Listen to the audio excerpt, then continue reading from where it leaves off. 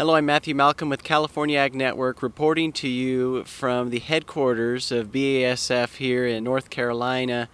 I'm here with Paul Rea, Senior Vice President of BASF. We're talking about, you know, miscon- there's so many misconceptions out there about agriculture, and it's starting to really impact the, the industry as well. We're, we're losing some of our crop protection materials.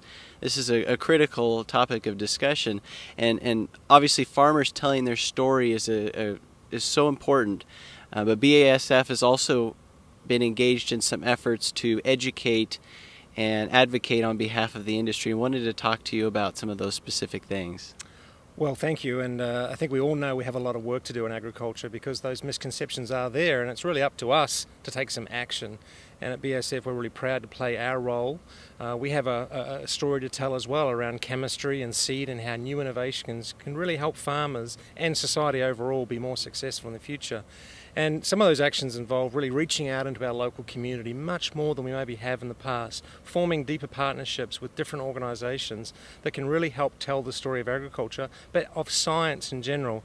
I'll just share a couple of examples. Just locally here, we work with one of our major TV stations to every post a story about science in the classroom and bringing our scientists out of the lab taking them to the classroom and actually showing children how to do simple but really interesting science experiments to raise their interest in science overall. And when we do that, I think that engages us at a different level of conversation around showing genuine interest for science and the role that it can play in helping us form uh, a better agriculture but a better society overall. And that's just one example where we've had quite a big impact. There are other examples as well.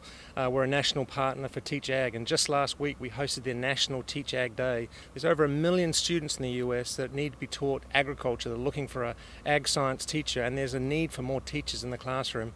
And so we're working with that national organisation to help them do that, to ensure teachers have the resources they need to talk about science, but also agriculture, and how that's a fantastic career that children should be interested in, because we're going to need not just farmers going to need data scientists, engineers, um, accountants, um, salespeople, and on and on. And there's many careers people can have in agriculture, but science underpins that all.